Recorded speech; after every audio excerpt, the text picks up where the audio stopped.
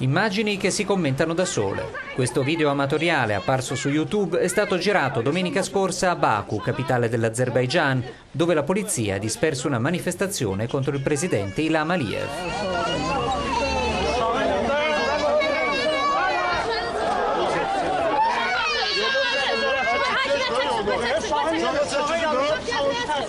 Gli agenti caricano sul cellulare una donna che tiene per mano la figlia piccola che poco prima aveva gridato libertà. Sarebbero diverse decine le persone arrestate, compresi due giornalisti svedesi. 25 sono poi state rimesse in libertà. La manifestazione non è che l'ultimo tentativo delle forze di opposizione di mobilitarsi contro il presidente Aliyev, seguendo l'esempio delle rivolte in Nord Africa e in Medio Oriente, sforzi che finora sono andati a vuoto. L'Azerbaigian è un paese che riveste un ruolo centrale sia per le sue forniture energetiche all'Europa, sia perché consente il passaggio delle truppe statunitensi dirette in Afghanistan.